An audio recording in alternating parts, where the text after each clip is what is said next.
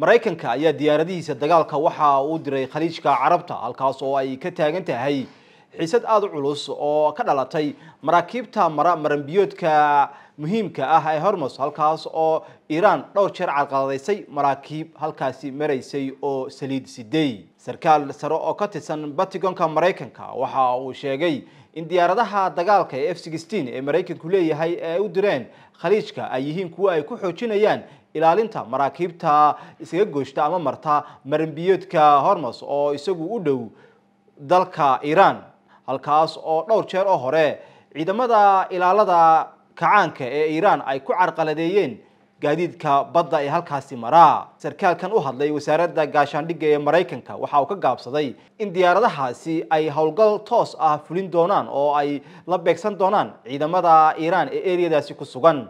Hase yeeshee waxa uu sheegay inay muhiim tahay inay xoojiyaan inay ciidamada maraykanka ee kuwa badda iyo kuwa weliba diyaaradaha maraykanka ay halkaasi si weyn uga muuqdaan si ay uga hortagaan fal kasta oo iiraan ay isku daydo inay ku carqaladayso maraakiibta halkaasi marta.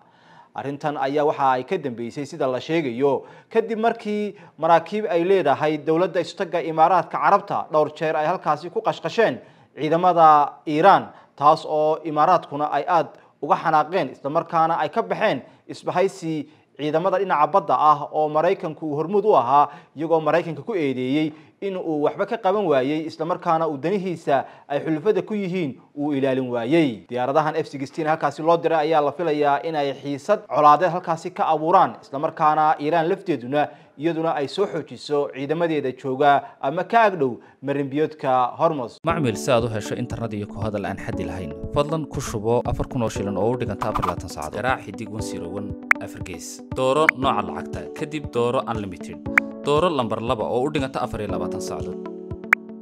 Kadib geli lambarkaaga kadib biinkaaga somtel waa shirkadda dadweynaha